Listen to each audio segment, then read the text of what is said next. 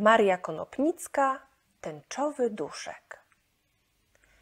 Kiedy czytam w mym ogródku, kiedy szemrzą trawy, drzewa, wtedy słyszę po cichutku coś w gęstwinie wonnej śpiewa.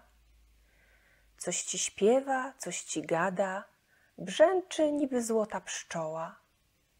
Różne dziwy opowiada, a kto taki? Nie wiem zgoła. Czasem myślę, że to róża, co na krzaku się rozwija i oczęta do mnie zmruża. Czasem myślę, że lilia.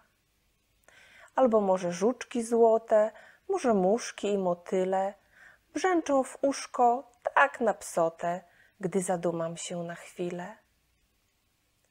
I raz tylko mi się zdało, że wskroś młodych listków sieci widzę postać duszka białą, jak na skrzydłach ku mnie leci. Jasność słońca, dźwięk piosenki, zapach kwiatów, listków, szmery, w tęcze tkały mu sukienki i skrzydełek jego cztery.